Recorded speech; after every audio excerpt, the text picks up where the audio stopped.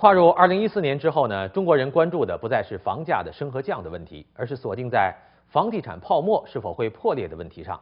不久前，中共住建部的副部长在演讲中就说，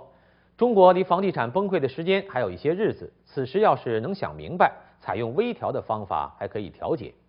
然而，普通民众都想知道，中国房地产这个大泡沫到底会不会在二零一四年就破裂呢？上海证券报对住建部副部长所说的可以通过微调的方式调节房地产崩溃问题并不认可，并指出靠微调只能将房地产崩溃的时期延后，无法真正阻止房地产崩溃的结局，因为中国错失了2009年初对房地产调控的最佳契机。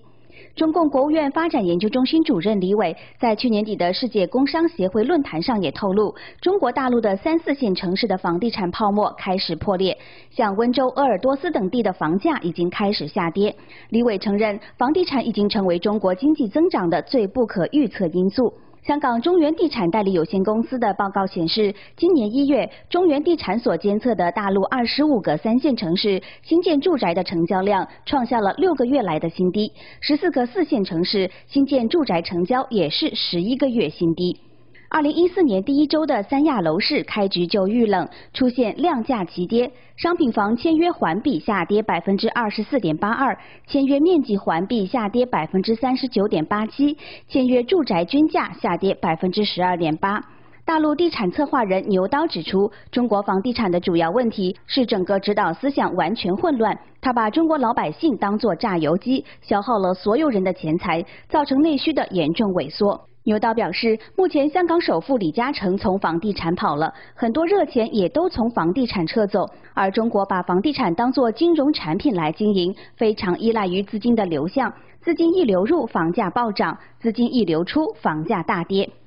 就是今年和明年这两年，可能是出乎所有人的意料之外，突然暴跌。它就像日本那当年那样的一个泡沫式的破灭，它没有别的出路。美国金融杂志机构投资者选出的2000年到2006年亚洲最佳经济学家谢国忠博士，他也认为中国房地产泡沫正在破灭，2014年房价将跌百分之五十。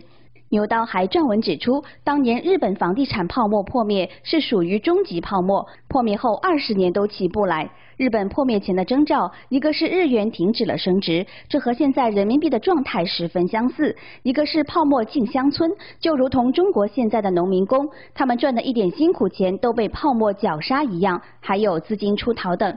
但牛刀说，中国还有两点和日本的终极泡沫破灭不同。一点是中国本次泡沫是由于央行发钞，第二点是中国泡沫是极为典型的官商勾结，掠夺全民的财富。牛刀认为，中国泡沫破灭后果更为严重，人民的生活将成为大问题。美国南卡罗来纳大学经济学教授、中国问题专家谢田表示，中国房地产的泡沫是由国家机器参与主导并制造的，通过二十年的系统性积累，成了人类历史上最大的一次泡沫。当泡沫破灭时，中国地方债务问题、银行的问题、影子银行问题、三角债问题和人民币汇率问题全都会迸发出来。